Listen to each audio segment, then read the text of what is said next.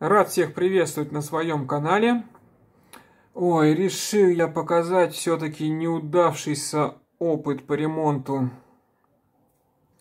данной модели. Накосячил, конечно, я с ней капитально. Даже не хотел ее показывать. Вот. Но поснимать чего-нибудь хочется. И я решил для себя, что я выдержу любую справедливую критику, тем более, что в критике нет ничего плохого. Она позволяет взглянуть на многие вещи по-другому, и случается так, что то, что раньше казалось незыблемым, ставится под сомнение. Это нормально. Кто, может быть, видел мой, мой ролик где-то там на канале с этим эвакуатором, он был там в разобранном виде – он мне был подарен с дефектами, ну, зеркала, там, фары, это понятно. Самая основная была, конечно, это вот его вот этой вот тросовой системе надстройки. Э, там были напрочь запутаны нитки. Я пытался распутать их, не разбирая, но у меня ничего не получилось, потому что нитка, нитки соскочили на ось, на которой стоят валы, и достать их оттуда не представляется возможным, потому что там просто ну, нечем даже подлезть, зацепить, там очень все сделано узко и тесно. И я решил, что надо это все разобрать и, естественно, починить. Как же? Э, вот. Значит, сразу хочу сказать, для того, чтобы добраться до тросов и валов этой системы, не нужно разбирать всю машинку, как я это сделал. Вот, достаточно снять вот эту надстройку. Это делается довольно-таки просто. Сейчас я вам покажу. Эта надстройка крепится двумя винтиками. Один вот там вот и один вот под этой вот штуковиной. То есть ее там оттуда тихонечко надо отделить. Здесь снять кардан, снять вот этот вот привод со звездочкой цепной – вот, и под ней откроется нам винтик. А второй винтик, он, в общем-то, открыт. Откручиваете их, предварительно сняв э, там защитные щитки. Ну, сейчас я все это покажу. Вот так вот просто хочу показать, как он, как он выглядит в снаряженном виде. Вот очень хотелось мне, чтобы он вот так вот у меня стоял на полочке. Вот, радовал газ. В принципе, с этой задачей вполне эта модель справляется. Так, давайте теперь я уберу все это лишнее. Вот это, кстати, деталь сделана из металла.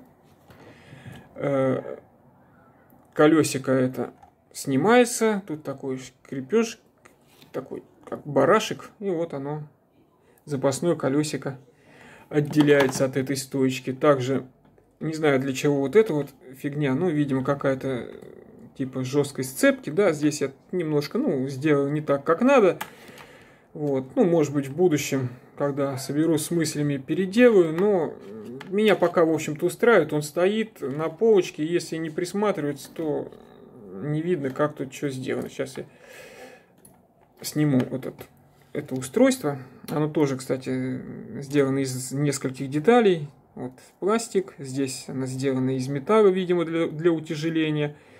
И ну, пластиковые накладочки. Так, и вот хочу показать. Ну, краны у меня стоят один выше, другой ниже. Это потому, что я нитки, блин, накосячил и привязал одну короче, другую длиннее. Вот, ну, это мелочи. Так, ящик тоже здесь снимается. Сейчас он так вот выглядит изнутри. Ну, я еще туда кладу цепи, аксессуары они у меня там лежат. Вот. Надо предварительно снять вот эти щиты, они на защелках, и э, открутить винтики, и снимается эта настройка вполне легко и непринужденно. Что я тут наделал, это просто кошмар какой-то. Кошмар для моделиста. Если бы это кто-то видел, кто занимается сборкой там моделей или конверсиями всякими доработками, наверное, у него бы вы нервы не выдержали, да? Ну, у меня у самого не выдержали, я, конечно, что-то накосячил. Стал я разбирать, там вот видите, идут валы по бокам, вот они видны слегка.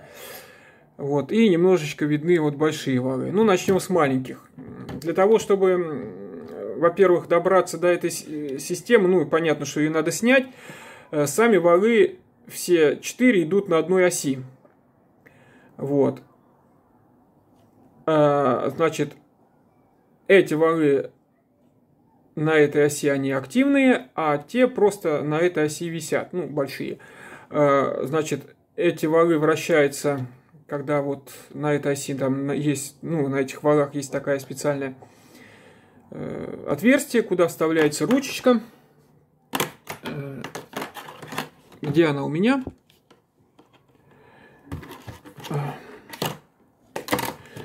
Так, куда вставляется ручечка, вот она. И вращаются валы. А вторые валы к ним идет отдельный привод с шестеренками. То есть это уже вторая, вот, второе отверстие. Туда вставляется эта ручечка, и путем через шестеренки, то есть, ну, типа как редукторы, да, вращаются большие валы.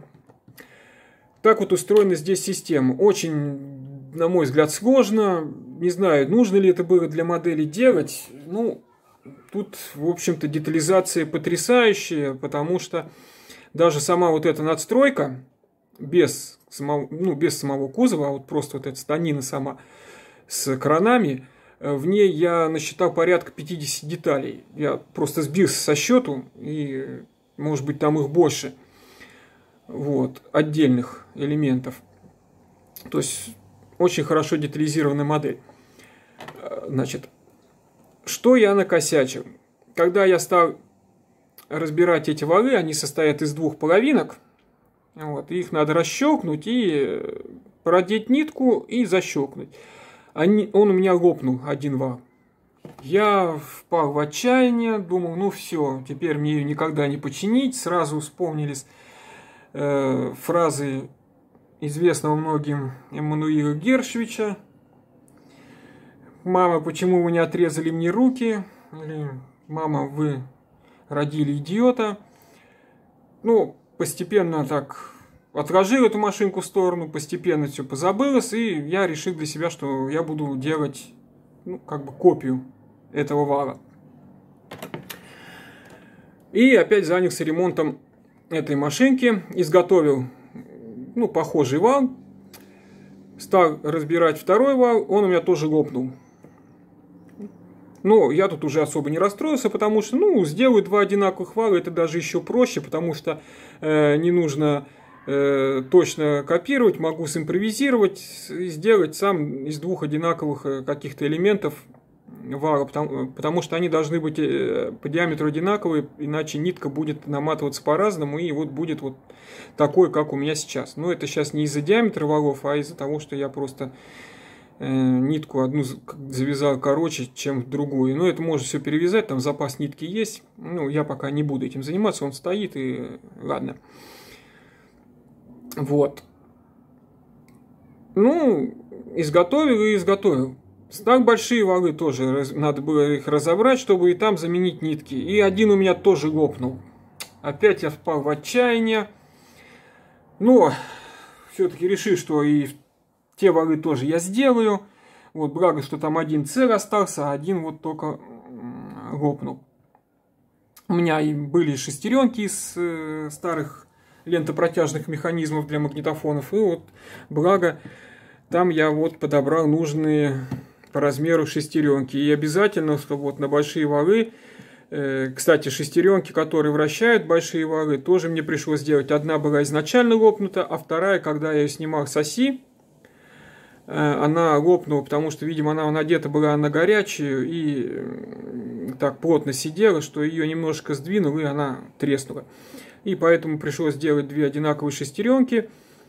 Ну и также, чтобы на самих валах количество зубчиков совпадало друг с другом, потому что иначе опять-таки будут по-разному э, разматываться и наматываться тросы. Удалось мне это все собрать. Ну, может быть, и на первый взгляд не очень это выглядит хорошо, но пусть будет как будто бы он рабочая машина. Вот эти вот тоже штуки я, которые ставится вот сюда вот. Тоже я их потерял, нечаянно прокинул ем, ну, баночку, в которой у меня все это лежало, и даже сразу не заметил, когда я их потерял. Ну, что-то нитка там стала пушиться, и не очень хорошо это выглядит, но это тоже можно поправить, нитки тут с запасом, можно все перевязать. Э, эти штучки я делал, знаете, как из термоусадки, надевал на нитку, завязывал, потом на узел эту термоусадку надевал и феном грел, пока она не сузилась максимально. Ну, в принципе, держится хорошо, нормально.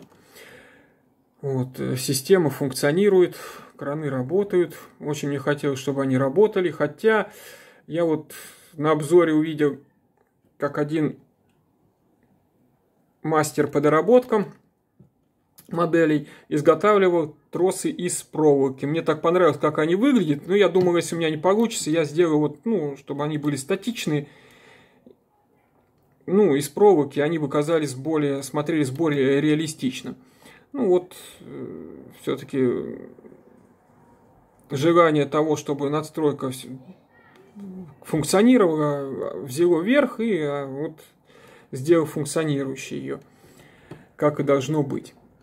Зеркала э, у меня оказались в коробочке, там в шкафу лежали, я вот наткнулся на них.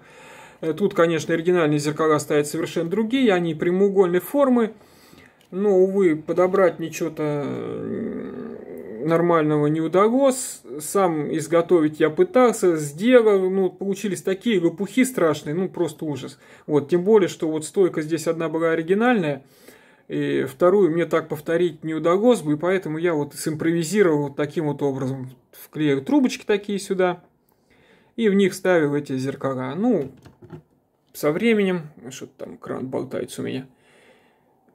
Со временем, конечно, если вдруг что-то подвернется, все это можно легко заменить. Вот. Ну, в общем-то, есть зеркала, они должны здесь быть, и это хорошо.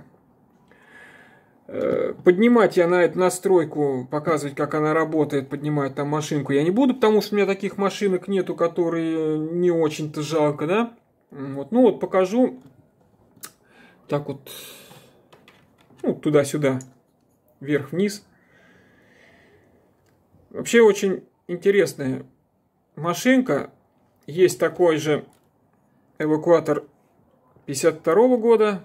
Да, Хочу сказать, вот э, я знаю, что как минимум у одного из моих подписчиков есть точно такой же эвакуатор, и если вдруг вы захотите там, ну, разматывать, заматывать надстроечку, что-то, может быть, там приподнять на ней, э, делайте это обязательно, чтобы нитки всегда были в натяг, потому что нитка э, захлестывается за зубчики там, когда она в расслабленном состоянии на раз-два. И запутать там можно очень легко, потом будут просто проблемы. Вот, поэтому вот сейчас вот как вот я крюки разматываю, вот э, беру их так в руки, в пальцами, точнее, и тяну немножечко на себя и одновременно вращаю вот валы, вот, чтобы нитка была в натяг, чтобы она там не ослабевала. Иначе просто потом будут проблемы может быть даже безвозвратные. ну, придется разбирать просто.